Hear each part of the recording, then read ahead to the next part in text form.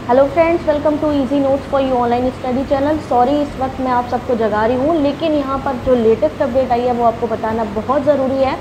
और वो ये है कि यूजीसी नेट का एग्ज़ाम सच में आठ तारीख को होने जा रहे हैं। आठ आठ जुलाई से एग्ज़ाम होने जा रहे हैं, जो यूजीसी नेट की साइट पर इंटीमेशन आ चुका है। सेंटर से रिलेटेड एडमिट कार्ड आने स्टार्ट हो चुके हैं।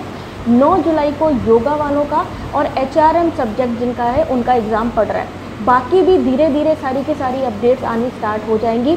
सुबह होते होते तक सारी चीज़ें क्लियर हो जाएँगी, लेकिन अभी यहाँ एक चीज़ क्लियर हो चुकी है और वो ये है कि आपका एग्ज़ाम आठ तारीख से होने जा रहा है। मुश्किल से चार से पाँच दिन बचे हैं। भाई, मेरे को तो समझ में नहीं आ रहा। नींद उड़ा दी इन्होंने सबकी।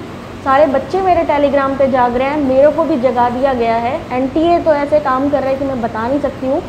तो ये अपडेट देनी बहुत ज़रूरी है। जो जाग रहे हैं थोड़ा सा देख लीजिए कि आपका कौन सी डेट को एग्ज़ाम पढ़ रहा है।